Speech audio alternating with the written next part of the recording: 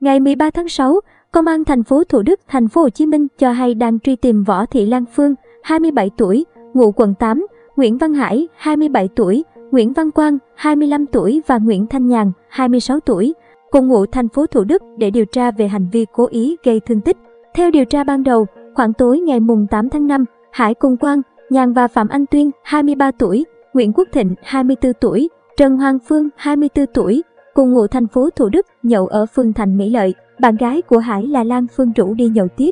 Đến quán nhậu, Hải thấy Lan Phương ngồi cùng với 6 cô gái khác, trong đó có Lương Mỹ Trân, 27 tuổi, ngụ thành phố Thủ Đức. Sau đó Lan Phương và Trân mâu thuẫn, cự cãi. Phương dùng ly thủy tinh đánh vào đầu chị Trân khiến chị bị thương. Trân gọi cho chồng là Ngô Trần Bảo, Nguyễn Văn Tạo, Nguyễn Văn Tuấn, 29 tuổi đến. Khi cả nhóm đến thì bị Hải và Quang đánh gây thương tích. Biết được Tuấn đang đi cấp cứu tại bệnh viện trên địa bàn thành phố Thủ Đức, nhóm của Hải tìm đến đập bể kính phòng cấp cứu, tấn công Trí và Tuấn.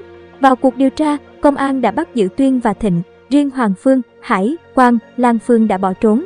Công an thành phố Thủ Đức kêu gọi người dân nếu phát hiện các đối tượng nhanh chóng báo cho công an thành phố Thủ Đức, địa chỉ số 9 xa lộ Hà Nội, phường Hiệp Phú, thành phố Thủ Đức hoặc công an nơi gần nhất